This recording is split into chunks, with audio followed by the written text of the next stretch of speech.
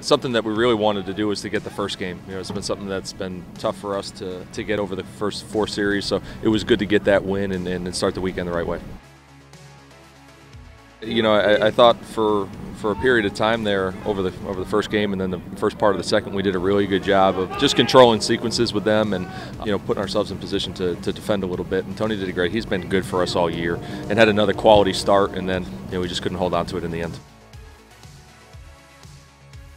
you know, we played well in, in.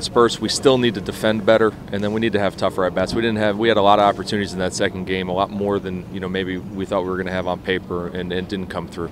You know, I think for us again, it starts with pitching and defense. If we can establish the game on our terms, I think offensively we're going to be able to put together some good at bats and have opportunities. But it's going to start with our uh, you know Skylar on the mound in the first inning, and we'll figure it out from there.